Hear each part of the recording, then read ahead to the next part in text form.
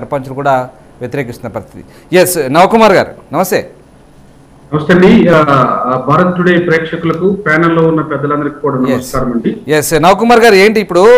ఇప్పుడు కేంద్ర ప్రభుత్వం అయితే గ్రామ పంచాయతీలకు స్వయం ప్రతిపత్తి కల్పించే దిశగా ఈ నిర్ణయం తీసుకుందని చెప్పవచ్చు. అంటే గ్రామ పంచాయతీలకు రాష్ట్ర ప్రభుత్వం ఏదైతే ఆర్థిక ఆంక్షలు ఉన్నాయో అవి లేకుండా కట్టడి చేసే పనిలో భాగంగానే కేంద్ర ప్రభుత్వం ఈ నిధులు ఇచ్చినట్టుగా మనకు ప్రస్తుతం అర్థమవుతుంది.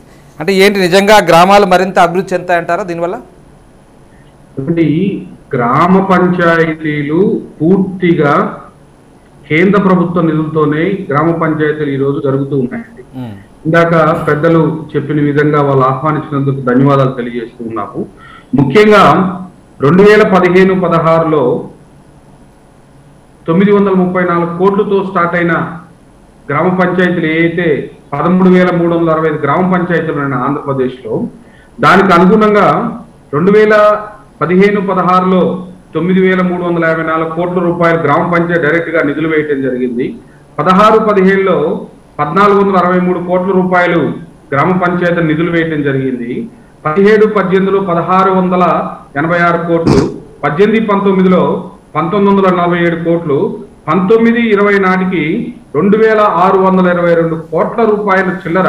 అంటే దగ్గర దగ్గర ఆ ఫైవ్ సిక్స్ ఇయర్స్లో ఇరవై దాకా కూడా ఎనిమిది వేల ఆరు వందల యాభై నాలుగు కోట్ల రూపాయల పై చిలుకు గ్రామ పంచాయతీలకి ప్రధానమంత్రి గారిని డైరెక్ట్గా గ్రామ పంచాయతీలకు వేయడం జరిగిందండి గత ప్రభుత్వంలో కానీ ఇప్పుడు. ఇప్పుడున్న ప్రభుత్వంలో కూడా సుమారు ఈ మూడు సంవత్సరాలు ఏడు వేల కోట్ల రూపాయలు పై చిలుకు గ్రామ పంచాయతీలకు వేయడం జరిగింది ఇలా గ్రామ పంచాయతీలను అభివృద్ధి చేస్తూ వెళ్తూ ఉంటుంటే ఇప్పుడున్న గత ప్రభుత్వం కానీ ఇప్పుడున్న ప్రభుత్వం కానీ ఏయైతే గ్రామ పంచాయతీలు కేంద్ర ప్రభుత్వం డైరెక్ట్గా వేస్తుందో వాళ్ళకు సంబంధించిన ప్రయారిటీ ఆఫ్ సెక్షన్స్లో ఏవైతే ఉన్నాయో గ్రామాల అభివృద్ధి చెందకుండా కూడా ఆ ఫండ్స్ తీసుకొని థర్టీన్ ఫైనాన్స్ కావచ్చు ఫోర్టీన్ ఫైనాన్స్ కావచ్చు ఫిఫ్టీన్ ఫైనాన్స్ కావచ్చు ఇవన్నీ తీసుకొని వాళ్ళ ప్రయారిటీ ఆఫ్ వర్క్లో ముఖ్యమంత్రులు వాడుకోవడం జరిగింది. అది మేము తప్పుగా భావిస్తూ ఉన్నాము.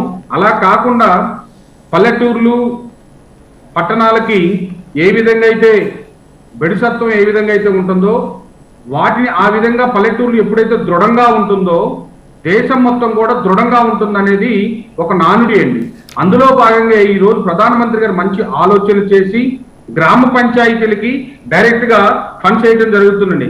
అందులో భాగంగానే నేషనల్ గ్రామ స్వరాజ్ యోజన కానీ ప్రైమ్ మినిస్టర్ గ్రామ్ సడక్ యోజన కానీ అదేవిధంగా ప్రైమ్ మినిస్టర్ గ్రామ్ స్వరాజ్ కానీ ఇలా మహాలక్ష్మి స్కీమ్స్ కానీ ఇలా number of sections central government sections number of sections ఈరోజు గ్రామ పంచాయతీ డైరెక్ట్గా ప- పంపించడం జరుగుతుంది.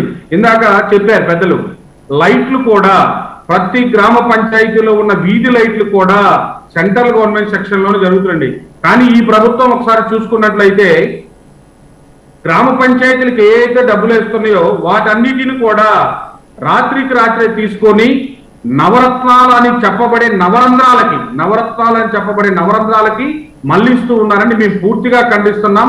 గ్రామ పంచాయతీలకు ఏదైతే వేస్తున్నామో వాళ్ళకి స్వయం ప్రతిపత్తి కల్పించాలన్న ఆలోచనతోనే ఈరోజు గ్రామ పంచాయతీ డైరెక్ట్గా ఇస్తూ గ్రామ పంచాయతీల అభివృద్ధిలో సెంట్రల్ గవర్నమెంట్ పాత్ర చాలా ఉందని కూడా మీకు తెలియజేస్తూ ఉన్నానండి.